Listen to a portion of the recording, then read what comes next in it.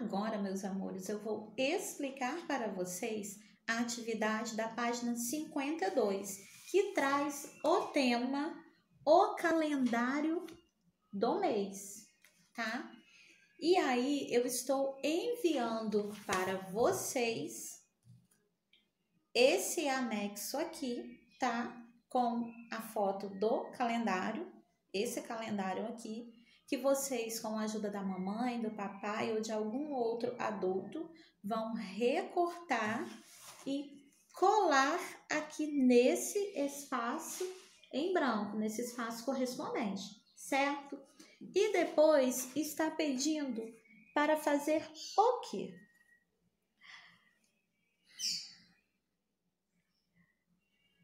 Contorne o nome do mês com lápis azul. Pode ser canetinha, tá? Hidrocor azul. Então, vamos observar aqui o calendário, tá? E circular com a canetinha azul o nome do mês. E aí, nós estamos em qual mês? Vocês se lembram? Lá atrás, quando a tia Priscila falou para vocês, uma data marcante, que foi o dia 12, Dia das Crianças. 12 de que mesmo? De outubro, né? Então, nós estamos no mês de outubro. Então, procurem aqui, tá? No nosso calendário e circule a palavrinha outubro, o nome do mês certo?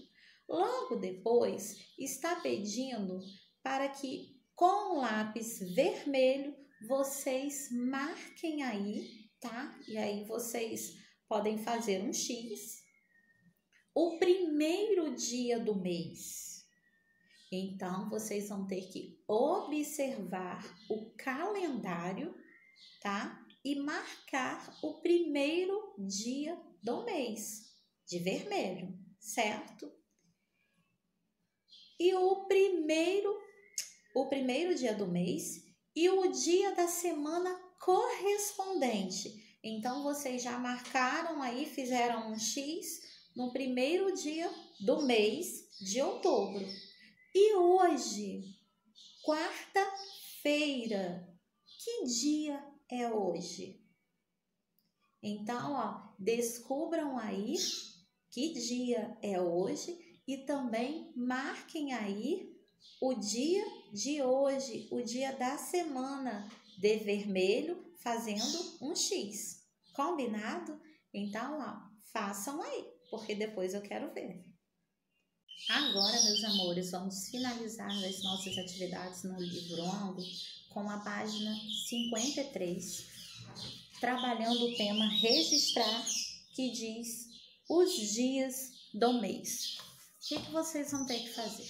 Vocês vão observar, tá? O calendário da página anterior, da página 52, que vocês colaram, tá? Vão ter que observar esse calendário, observar os números, combinado? Porque na página 53 diz assim: use o lápis verde, lembrando que pode ser canetinha, ou lápis de cor, para escrever o número do dia em que vocês terminaram de construir o calendário.